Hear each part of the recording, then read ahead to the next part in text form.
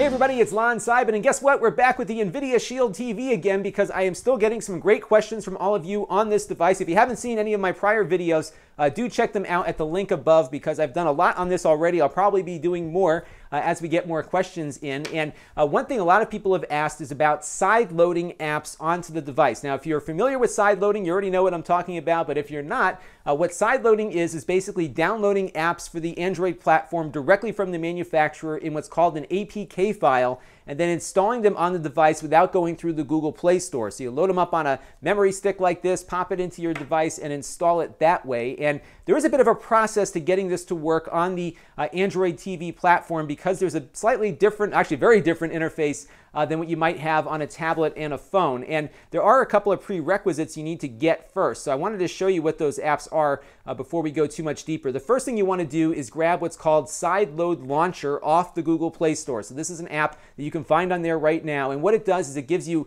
uh, access to apps that are compatible with the device but don't show up on the TV interface. Let me show you what this app looks like real quick so you can get a feel for what I'm talking about. So when I load this app up, I see everything that my device supports, uh, including the things that do show up in the main menu there. But for example, if I scroll down to RetroArch here, uh, that is not appearing on my main screen, but I can boot it up uh, through this launcher here. So that is why you would uh, maybe want to have that in there because there might be some Android apps that will run on here uh, but won't show up. And in fact, what we're going to do uh, in this demonstration video is install a file manager for one of my network attached storage devices. So the app is not compatible in the Google Play Store with my device, but I can install the APK file directly and get access to it. And that sideload manager is how I'm going to get at that app uh, once it's installed. So get that on there. That's an important one to do. Uh, and you also want to look at getting the ES File Explorer, and that is also available in the Google Play Store. It's free, uh, and you can use that to actually install the app so you can kind of navigate around the file system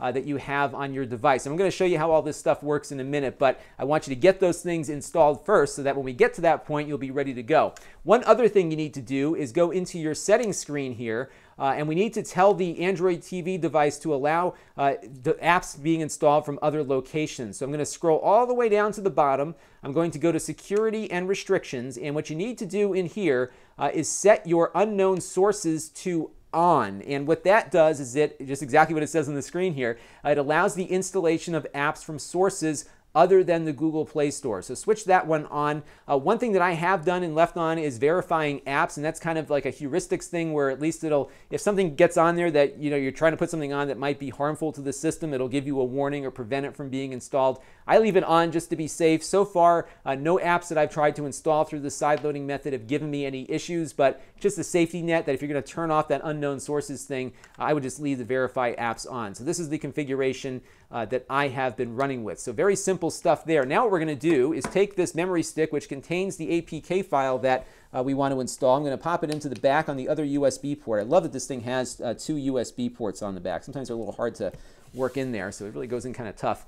Uh, but now that that card is installed, I'm going to go back out to the main menu here. I'm going to go to our File Explorer and uh, take a look and see uh, what we have to look at on here. So now, as you can see, we've just got uh, the basic file system of my Android device. On the left here, I can scroll down uh, and find that uh, device. So we can go to USB drive 2 and click on that. And there, right there, is the Android DS file APK file. And that is what we're going to install. So I'm just going to hit the, the A button here, and uh, that will launch this little men menu option here to say, uh, do you want to go to the market and find this, or do you just want to install it? I'm going to say install. And uh, what it's going to do is you just select the package installer, which is the app we want to have uh, load up when we uh, load these kinds of files. It's going to give me all the warnings that you would normally get uh, in the store about what it can and can't do. We're going to click install and it's going to install that app right now. It is now installed. I'm going to click done because I want to go back out to the main menu here and just show you uh, that it probably is not going to appear in our list of available applications. So you saw what that icon looked like, the DS file.